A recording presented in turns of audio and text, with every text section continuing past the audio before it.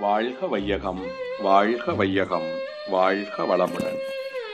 உலக சமாதானம் கவி நூத்தி முப்பத்தி மூன்று கடன் என்பது பெரிய பாரம். உடலினிலே இரத்த ஓட்டம் இருக்கு மட்டும் உண்டாகும் இன்ப துன்ப சுழலில் சிக்கி. இடர்பட்டு வாழுகின்ற மனிதர் கொண்ட எத்தனையோ செயற்கை முறை துன்பத்துள்ளே கடன் என்ற கற்பனையே பெரும்பாலோர்க்கும் கவலை தரும் நச்சாகும். அதனால் முன்னே விட வேண்டும் அனைவருமே இவ்வெண்ணத்தை. விவேகத்தால் ஒன்று கூடி வாழும் நாளில். விளக்கம். இரத்த ஓட்டம் ஆரம்பித்தது முதல் நிற்கும் வரைக்கும் ஒவ்வொருவருக்கும் இரு இன்பம் துன்பம் என்ற உணர்ச்சி சுழலும் உண்டு.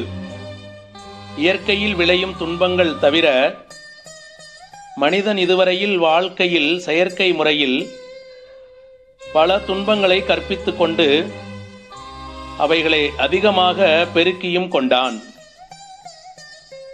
கடன் என்னும் கற்பனை துன்பமே எல்லாவற்றை காட்டிலும் விஷப்புகை போன்று பெரும்பாலோர் வாழ்க்கையில் கொடிய இன்னல்களை தருகிறது.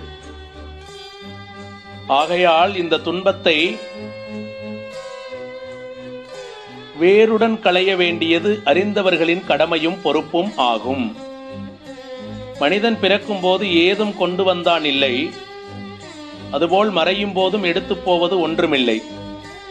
இடையில் தொடர்ந்து வந்த வழக்க பழக்கங்களால் கற்பனை சட்டத்திட்டங்களால் சொத்துரிமை ஏற்படுகிறது. எல்லா மனிதர்கள் கூட்டுறவின் பயனால் ஒவ்வொருவனும் வாழ்கின்றான். ஒரு மனிதனை சமூகம்தான் உருவாக்கியது அறிவூட்டியது வாழ வைக்கிறது. அதற்கு பிரதிபலனாக அவனவன் உடல் சக்தி அறிவின் ஆற்றல் இவைகளை சமூகத்திற்கு அர்ப்பணித்தல் தான் கடமையாகும். ஆகையால் அவரவர்கள் செய்யும் செய்த தொழில்களின் விளைவுகள் சமூகத்திற்கே உரியது. ஒவ்வொருவரையும் வாழச் செய்வது சமூகமே.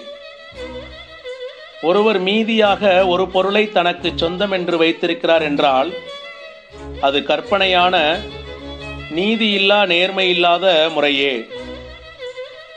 அது உலக மக்கள் அனைவரின் சொத்தே ஆகும். ஆகையால் உழைப்பின் பலன் அனைவருக்கும் சொந்தமாக்குவதையும் நிரவி அனுபவிப்பதையும் கடமையாக கொள்வோம். கடன் என்று ஒருவருக்கொருவர் கொடுப்பது வாங்குவது நீண்ட காலமாக மனித இனத்தை தொடர்ந்து வரும் தொத்து வியாதியேயாகும் இந்த நீடித்த பலம் பொருந்திய வியாதியை ஒழித்து உலக சமாதான திட்டத்தின் கீழ் கடன் என்ற சொல் மறைந்து கடமை எனும் உணர்வாக மாறிவிடும் வகையில் நாம் வாழும் முறையை வகுத்துக் கொள்வோம். வாழ்